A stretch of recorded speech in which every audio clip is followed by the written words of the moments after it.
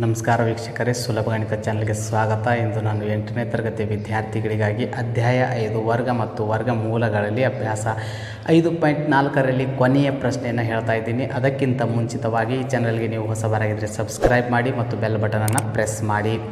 ಕೊಟ್ಟಿರುವಂಥ ಒಂದು ಪ್ರಶ್ನೆಯನ್ನು ಸರಿಯಾಗಿ ಓದಿಕೊಂಡು ಅದಕ್ಕೆ ಸುಲಭವಾದಂಥ ಒಂದು ಪರಿಹಾರವನ್ನು ಕಂಡುಹಿಡಿಯೋಣ.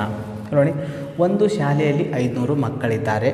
ಅವರು ಕವಾಯತ ಮಾಡಲು ಅಡ್ಡ ಸಾಲುಗಳ ಸಂಖ್ಯೆಗೆ ಸಮ ಇರುವಂತೆ, ಕಂಬ ಸಾಲುಗಳ, ಅಡ್ಡ ಸಾಲುಗಳ ಸಂಖ್ಯೆ ಮತ್ತು ಕಂಬ ಸಾಲುಗಳ ಸಮ, ಸಂಖ್ಯೆಗೆ ಸಮ ಇರುವಂತೆ ಅವರು ನಿಲ್ಲಬೇಕಾಗಿದೆ ಅಂತಂದರೆ ಸೇಮ್ ಇದೇ ರೀತಿಯಾಗಿದೆ. ಇಲ್ಲಿ ನೋಡಿ, ಈ ರೀತಿಯಾಗಿ ಮಕ್ಕಳು ಎಷ್ಟು ಸಾಲುಗಳಲ್ಲಿ ನಿಲ್ತಾರೋ ಇಷ್ಟೇ ಸಾಲುಗಳಲ್ಲಿ ಕೂಡ ಮಕ್ಕಳು ನಿಲ್ಲಬೇಕಾಗಿದೆ ಈ ರೀತಿಯಾಗಿ ನಾವು ಒಂದು ಅರೇಂಜ್ಮೆಂಟನ್ನು ಮಾಡಿದಾಗ, ಹಾಗೆ ನಿಂತ ನಂತರ ಎಷ್ಟು ಮಕ್ಕಳು ಈ ವ್ಯವಸ್ಥೆ ಹೊರಗಡೆ ನಿಲ್ತಾ ಇದ್ದಾರೆ ಅನ್ನುವಂಥದ್ದು ನಾವು ಕಂಡುಹಿಡಿಬೇಕು.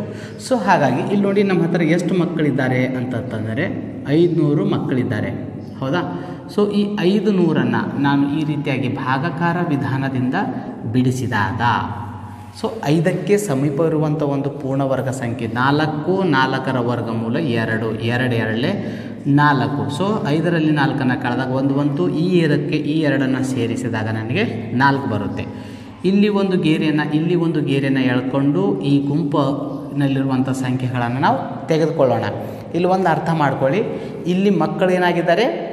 ಸಂಖ್ಯೆ, ಮಕ್ಕಳ ಸಂಖ್ಯೆ ಹೆಚ್ಚಾಗಿದ್ದಾರೆ. ಸೊ ಹಾಗಾಗಿ ನಮಗೆ ಆ ಹೆಚ್ಚಿನ ಮಕ್ಕಳು ಬೇಕಾಗಿಲ್ಲ. ನಮಗೆ ಕಡಿಮೆ ಮಕ್ಕಳು ಬೇಕಾಗಿದ್ದಾರೆ.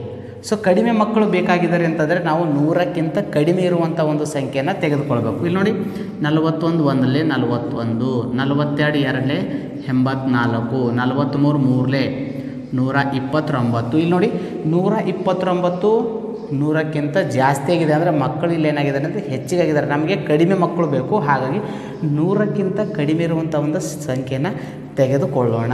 ಸೊ ಇಲ್ಲಿ ನಲವತ್ತೆರಡು ಎರಡಲೇ ಎಂಬತ್ನಾಲ್ಕು. ನೂರರಲ್ಲಿ ಎಂಬತ್ನಾಲ್ಕನ್ನು ಕಳೆದಾಗ ನನಗೆ ಹದಿನಾರು ಮಕ್ಕಳು ಉಳಿದರು. ಸೊ ಹಾಗಾಗಿ ಇಲ್ಲಿ ನೋಡಿ ಈ ಒಂದು ವ್ಯವಸ್ಥೆಯ ಹೊರಗೆ ಈ ವ್ಯವಸ್ಥೆಯ ಹೊರಗೆ ಎಷ್ಟು ಮಕ್ಕಳು ಉಳಿತಿದ್ದಾರೆ ಅಂತಂದರೆ ಇಲ್ಲಿ ಬರುವಂಥ ಒಂದು ಉತ್ತರ ಏನಿದೆ ನೋಡಿ ಅಷ್ಟು ಮಕ್ಕಳು ಈ ಒಂದು ವ್ಯವಸ್ಥೆಯ ಹೊರಗಡೆ ಉಳಿಯುತ್ತಾರೆ ಅಂತ ನಾನು ಇಲ್ಲಿ ಹೇಳಬಹುದು.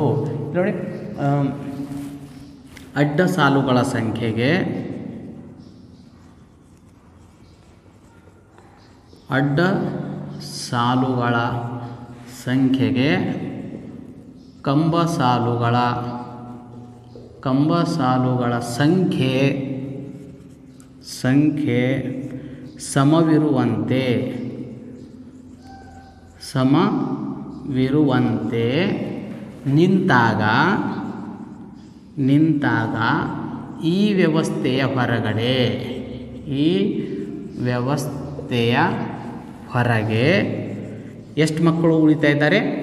ಹದಿನಾರು ಮಕ್ಕಳು ಹದಿನಾರು ಮಕ್ಕಳು ಉಳಿಯುತ್ತಿದ್ದಾರೆ ಅಥವಾ ಉಳಿಯುತ್ತಾರೆ ಅಂತ ನಾವು ಹೇಳಬಹುದು ಸೊ ಇಲ್ಲಿಗೆ ಪ್ರಶ್ನೆ ಸಂಖ್ಯೆ ಒಂಬತ್ತು ಮುಕ್ತಾಯವಾಯಿತು. ಅಲ್ಲದೆ ಅಭ್ಯಾಸ ಐದು ಪಾಯಿಂಟ್ ನಾಲ್ಕು ಮುಕ್ತಾಯವಾಯಿತು. ಅದೇ ರೀತಿಯಾಗಿ ಅಧ್ಯಾಯ ಐದು ಕೂಡ ಕಂಪ್ಲೀಟಾಗಿ ಮುಕ್ತಾಯವಾಯಿತು. ಇನ್ನು ಮುಂದಿನ ವಿಡಿಯೋದಲ್ಲಿ ಅಧ್ಯಾಯ ಆರರ ಬಗ್ಗೆ ವಿವರಣೆಯನ್ನು ಕೊಡ್ತೀನಿ.